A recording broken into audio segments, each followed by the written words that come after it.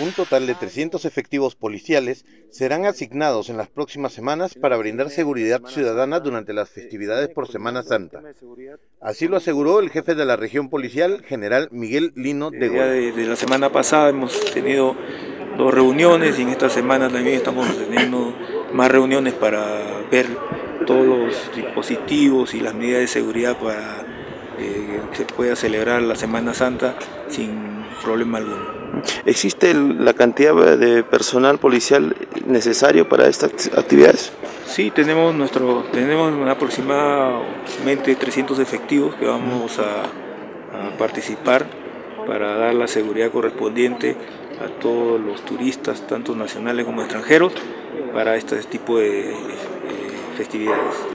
Asimismo, el jefe policial manifestó que un total de 32 motocicletas saldrán a prestar seguridad como parte del patrullaje motorizado. El patrullaje eh, se va a realizar con estas motos, más las unidades mayores, las unidades menores motorizadas que tenemos acá en Guamán.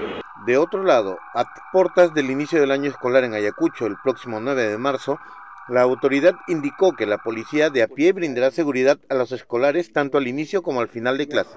Estamos ya haciendo la planificación para darle la seguridad correspondiente a todos los escolares que van a iniciar este, eh, el día de hoy, y la próxima semana, el año eh, educativo.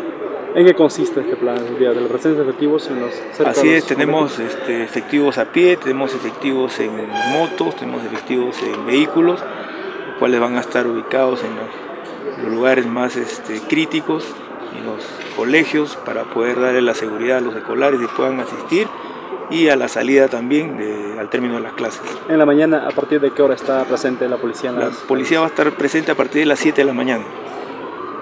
Estas declaraciones fueron brindadas durante la conferencia de prensa, donde se presentó la captura de la banda criminal Los Malditos de Quicapata y armamento incautado a la banda Los Grones de Carmen Alto.